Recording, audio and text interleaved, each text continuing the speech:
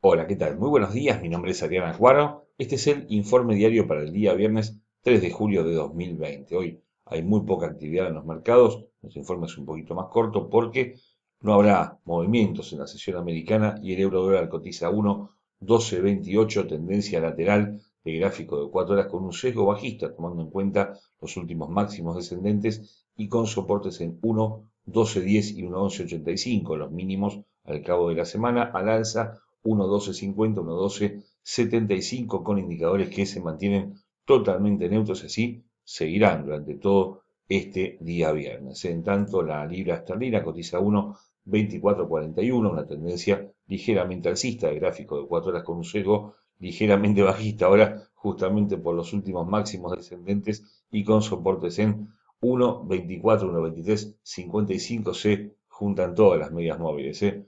Para pasar el fin de semana seguramente todas las de corto, mediano y largo plazo al alza 1.2485 y 1.2530 y los indicadores totalmente neutros apenas por encima de sus líneas medias pero sin una dirección clara en el corto plazo. En tanto el dólar yen en el gráfico de una hora 107.46 neutro también y por eso lo pusimos en una hora porque en el gráfico de cuatro horas prácticamente no se ve nada, tiene soportes en 107.30, 107.20 al alza, 107.55, 107.75 y no habrá movimientos, por eso están muy cerca de los objetivos y los indicadores también permanecen neutros. El dólar canadiense en tanto cotiza 1.3569, una tendencia que lentamente se torna bajista del par con una bandera invertida de continuación de tendencia y soportes en 1 35.50, 1.35.20 al alza, 1.35.95 y 1.36.30. Los indicadores neutros y sin pistas claras para lo que queda del día. Lo mismo sucede con el dólar australiano que cotiza 0.6932, una tendencia que se mantiene lateral en el gráfico de 4 horas con un sesgo alcista por los últimos mínimos ascendentes y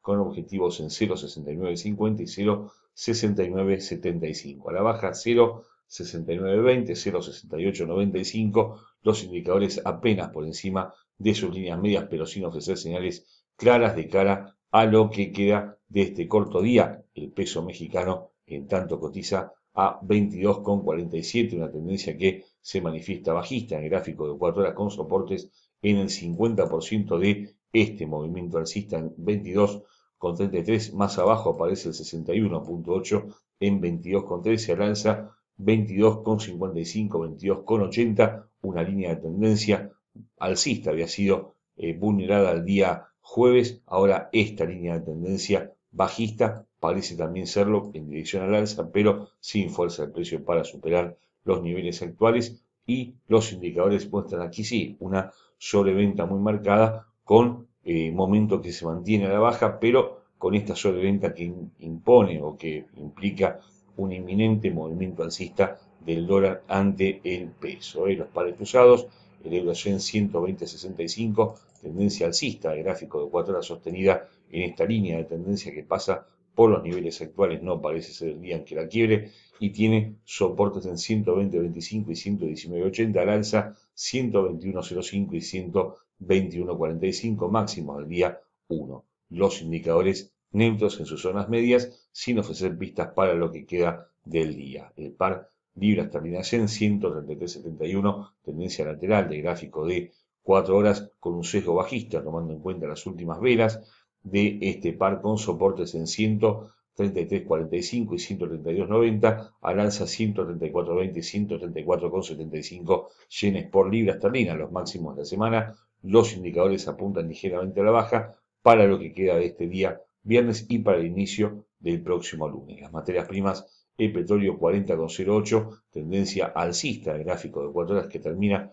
con una ligera baja, pero alcista al fin con objetivos en 40,60 y 41 dólares. A la baja 39,67, 39,20 para los futuros West Texas con indicadores que apuntan a la baja justamente para el inicio de la sesión del día lunes en eh, en Asia, por supuesto, y finalmente la onza de oro, 1.774 dólares con 40 centavos, tendencia también lateral de gráfico de 4 horas, tuvo algunos sustos el oro el día de ayer y puso en peligro esta línea de tendencia que finalmente salvó ¿eh? por muy poquito, pero tiene un sesgo bajista en sus principales indicadores, no obstante lo cual, si supera 1779 otra vez va a apuntar a los máximos del año en 1788. Los soportes 1756, 66 y 1756. Ahora sí, los mínimos del día jueves, los indicadores apuntan ligeramente a la baja en estas horas. Señores,